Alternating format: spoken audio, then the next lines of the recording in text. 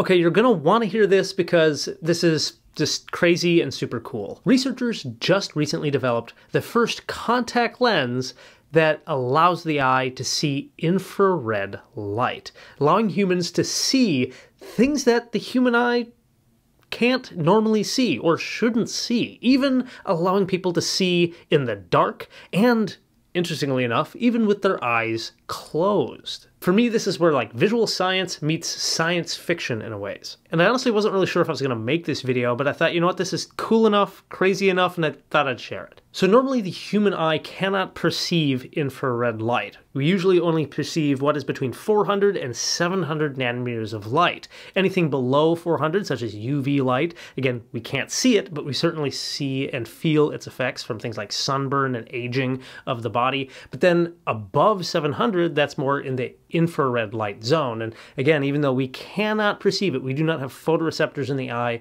to see that light, we do feel its presence in the form of heat. And normally to see infrared light, we have to utilize special technology like night vision goggles or perhaps some sort of uh, infrared light imagery in cameras. Basically what researchers have done are take what are called upconversion nanoparticles. These are rare earth minerals, ions that they inject into a polymer of a contact lens. And when infrared light wavelengths hit these ions, they then get excited and emit a wavelength that is closer to what the human eye normally does perceive. And I guess a huge part of this research was in fact them titrating the exact amount and what type of kind of metal ions of these nanoparticles to put into these contact lenses. Because if you give too much, it would cause the contact lenses to blur. And so then the users wouldn't be able to see anything. Kind of like wearing a contact lens of the wrong power. Everything in the world would be blurry and hard to see. Now, in the development of this lens, they didn't do the mad scientist thing. They didn't put it straight onto the human eye. They first tested it out on mice.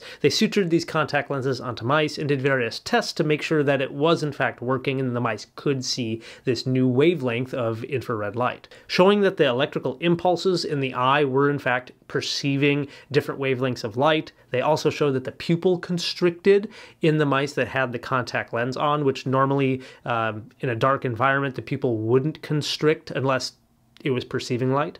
And then most importantly, they were able to determine that the contact lenses would not cause damage to the eyeball itself, which is really important when considering putting this new invention onto like a human participant, right? They don't want to cause damage to the human eye. But when humans tested these contact lenses, they saw some really cool things. Not only were they able to detect flashing of infrared light, specifically in that of Morse code, which again, people not wearing the contact lenses would otherwise not be able to detect or see, but they're even to detect certain patterns and set of the direction of where this infrared light was coming from. But then on top of all this, the participants were even able to identify different colors, seeing reds, blues, and greens based on what type of wavelength of infrared light was shown, which I think is just super fascinating. In fact, I found an older published article that used the same sort of kind of upconversion nanoparticle technology, but they put it into glasses lenses. And with that, they were able to show specifically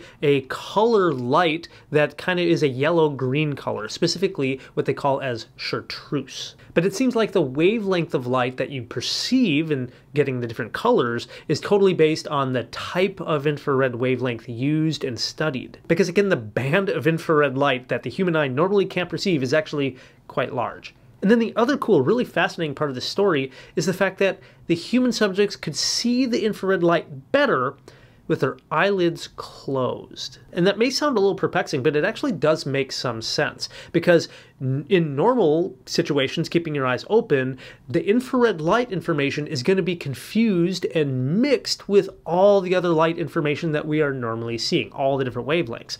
But with your eyes closed, everything else is kind of shut off, but infrared light can still penetrate through your eyelids. In fact, it's one of the reasons why like red light therapies uh, are now incorporating infrared light to help treat various tissues on your whole body, whether it be your skin or potentially even the eyes. Okay, now if we take a step back, maybe you can say like, hey, Joey, I agree with you. This is all fascinating. This is pretty cool, but why? Why are they doing this? What could these sort of contact lenses to help us see infrared light? What, what what good is this? How are we going to be able to use this? So, the potential benefits of this type of technology one, of course, uh, compared to something like night vision goggles uh, or type of infrared cameras, right? This does not require a battery pack. This does not uh, require any heavy bulkiness. This is something that any human could basically put on their eyes and start seeing wavelengths of light that, again, the human eye normally should not be able to see.